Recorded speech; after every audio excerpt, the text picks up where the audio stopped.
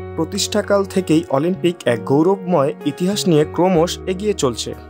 গ্রিকদের উদ্ভাবিত ক্রীড়াক্ষেত্রে বিশ্বের সবচেয়ে প্রাচীন এই প্রতিযোগিতায় যুগ যুগ ধরে খেলে গেছেন বহু রথী মহারথী। জেসি ওয়েন্স, পাভো নুরমি থেকে শুরু করে এ যুগের মাইকেল ফেলোপস কিংবা উসাইন বোল্টদের নাম রয়েছে অলিম্পিকের সোনালী ইতিহাসের পাতায়। যাদের নামের সঙ্গে জুড়ে রয়েছে অলিম্পিক ইতিহাসের অন্যতম সেরা কিংবদন্তি অ্যাথলেটের তকমা। অলিম্পিকের ভিন্ন ভিন্ন ইভেন্টের সঙ্গে মিশে আছে স্বতন্ত্র কিংবদন্তিদের নাম। বিদ্যুৎ গতিতে দৌড়ের কথা উঠলেই যেমন চলে আসে উসাইন বোল্টের নাম, তেমনি সাঁতারে সর্বকালের সেরার নাম মাইকেল ফেলপস। ট্রাক অ্যান্ড ফিল্ডে রয়েছেন আরেক কিংবদন্তি জেসে ওয়েন্স। চলুন জেনে নেওয়া যাক অলিম্পিক ইতিহাসের সর্বকালের সেরা পাঁচ কিংবদন্তিদের। পাভো নুরমি, জন্ম ফিনল্যান্ডে। উনিশশো সাল থেকে অলিম্পিকের মিডল ও লং ডিস্টেন্স ইভেন্টে রাজত্ব করার সুবাদে তার নামের সঙ্গে জুড়ে রয়েছে ফ্লাইং ফিন নামক বিশেষ শব্দদয় গোটা ক্যারিয়ারে বাইশটি বিশ্ব রেকর্ডের পাশাপাশি অলিম্পিকে তার রয়েছে বারোটি পদক, এর মধ্যে নয়টি স্বর্ণপদক টানা আশি বছরের সবচেয়ে বেশি পদক জেতা অ্যাথলেট ছিলেন নুরমি। ফলে উনিশশো সালে টাইম ম্যাগাজিনে বিশ্বের সেরা অলিম্পিয়ানের মুকুট দেওয়া হয় পাভো নুরমিকে। জেসে ওয়েন্স, উনিশশো সালে নাৎসি জার্মানির বার্লিনে বসে অলিম্পিকের আসর।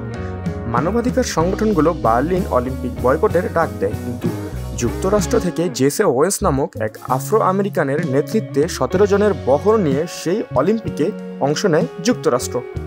সেই আসরে চারটি স্বর্ণপদক জিতে সারা ফেলে দেন ওয়েন্স দেশে ফিরলে তখনকার মার্কিন প্রেসিডেন্ট রুজভেল্ট বিশেষ সম্মাননা জানান। উসাইন বোল্ট, বর্তমান যুগের সেরা অ্যাথলেট কে? উসাইন বোল্ট নাকি মাইকেল ফেলোপস? এ নিয়ে অবশ্য বিতর্কের সুযোগ রয়েছে। তবে নিজেদের ইভেন্টে সেরাদের সেরা এই দুই কিংবদন্তি। যা নিয়ে নেই কোনো বিতর্ক। অলিম্পিকের ইতিহাসে টানা তিনটি স্বর্ণপদক জয়ের কৃতিত্ব রয়েছে জ্যামাইকান স্প্রিন্টার হুসাইন বোল্টের দু বেইজিং অলিম্পিকে একশো ও দুইশো মিটার এবং একশো মিটার রিলেতে স্বর্ণ জিতে বিশ্ব রেকর্ড করেন তিনি।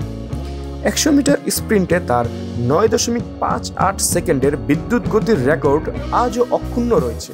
সব মিলিয়ে তার ঝুলিতে রয়েছে আটটি স্বর্ণপদক।